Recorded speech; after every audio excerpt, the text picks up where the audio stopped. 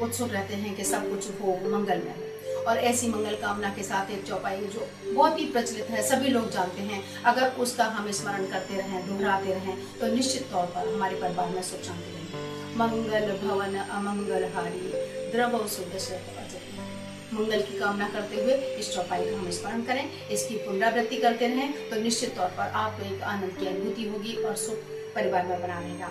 और ईश्वर से कामना करते हुए हम एक और चौपाई बोल सकते हैं, दीन दयाल बीरद संभारी हरव नाथ मम संकल्प। इसका स्मरण करें तो हमारे जो कष्ट हैं जो हमें दुविधाएँ हैं उनसे हमें मुक्ति मिल जाएगी। कुछ ऐसी छोटी छोटी चौपाइयाँ जिनका हम दिन प्रतिदिन के स्मरण मात्र से ही हम अपने दुखों को दूर कर सकते हैं। भगवान का नाम भी इस बहाने लिया जाएगा और हमारे कष्टों का निवारण भी होगा। तो इन चौपाइयों को याद रखें और दोहराते हैं मंगल भवन मंगल हारी द्रव दशरथ अजय दीन दयाल बिरद संभारी हरो नाथ मम संकट।